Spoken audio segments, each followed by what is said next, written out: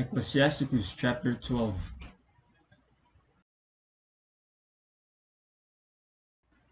When thou wilt do good, know to whom whom thou doest it, so shalt thou be thanked for thy benefits. Do good to the godly man, and thou shalt find a recompense, and if not from him, yet from the Most High. There can no good come to him that is always occupied in evil, nor to him that giveth no alms. Give to the godly man, and help not a sinner. Do well unto him that is lowly, but give not to the ungodly. Hold back thy bread, and give it not unto him, lest he overmaster thee thereby. For else thou shalt receive twice as much evil for all the good thou shalt have done unto him.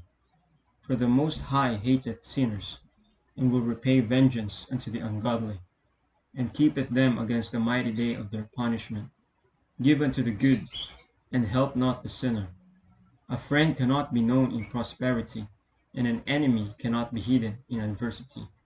In the prosperity of a man, enemies will be grieved, but in his adversity, even a friend will depart.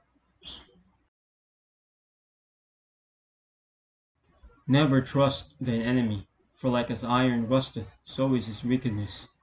Though he humble himself and go crouching, yet take good heed and beware of him. And thou shalt be unto him as if thou hast wiped a looking glass, and thou shalt know that his rust hath not been altogether wiped away. Set him not by thee, lest when he hath overthrown thee, he stand up in thy place. Neither let him sit at thy right hand, lest he seek to take thy seat, and thou at the last remember my words, and be pricked therewith. Who will pity a charmer that is bitten with a serpent, or any such as come nigh wild beasts? So one that goeth to a sinner, and is defiled with him in his sins, who will pity? For a while he will abide with thee, but if thou begin to fall, he will not tarry. An enemy speaketh sweetly with his lips, but in his heart he imagineth how to throw thee into a pit. He will weep with his eyes, but if he find opportunity, he will not be satisfied with blood. If adversity come upon thee, thou shalt find him there first, and though he pretend to help thee, yet shall he undermine thee.